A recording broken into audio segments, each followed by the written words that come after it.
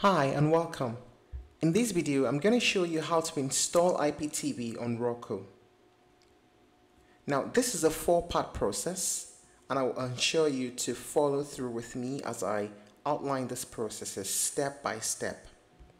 Now, the first thing to do is to launch your Roku. Now press the following buttons in this same order on your remote as you can see on screen. The home button three times, the up arrow button two times, right arrow one time, left arrow one time, right arrow one time, left arrow one time, then right arrow one time, left arrow one time, and lastly, right arrow one time. If you press these buttons in this order on your remote, the developer options menu will appear on your Roku TV screen like this. This is what is going to appear on your screen. Now write down the IP address that is listed on screen. See it? There's a username below it. Now after you write down the IP address, come here. You can see here on screen it says disable installer and restart.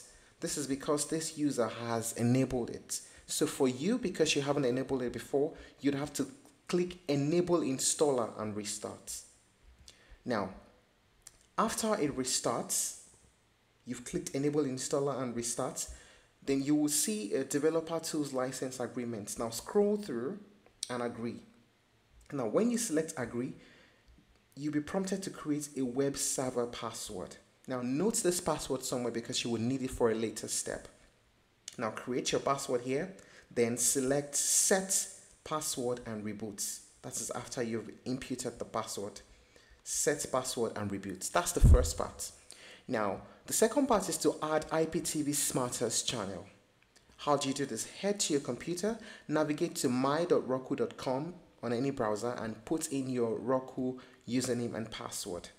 Now, after you've done that, like this, you click submit and when you're logged in, now select this option under your account, add channel with a code.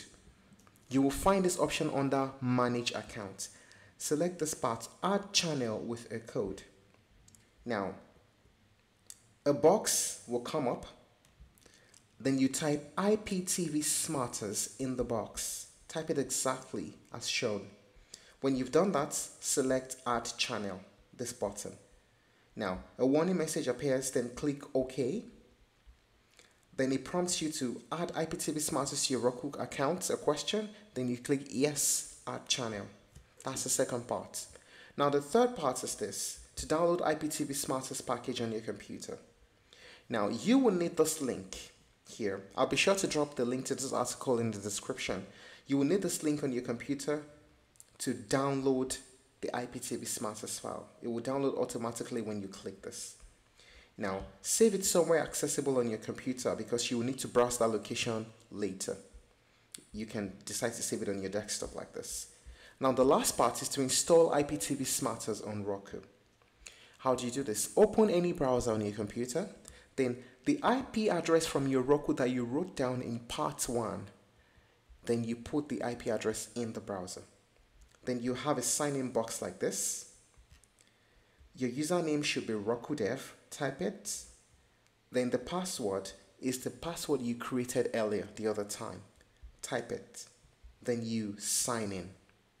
After you've signed in, click upload on the next page that appears. When you have selected upload, what you do next is to go to the location where you downloaded that IPTV Smarters package I suggested you saved it on your desktop the other time. So if you saved it on your desktop, you'll find it like this in a zipped folder. Open it. And once the file is uploaded here at this stage, you install the Smarters package that you downloaded.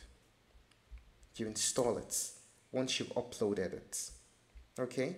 So what you do when you click upload here is you navigate to that location where you saved it. If you saved it on the desktop, you navigate there and you upload it. Then once it's uploaded, you see the name written there, then you click install. Now, if you see it like this on your side, then you've done it correctly.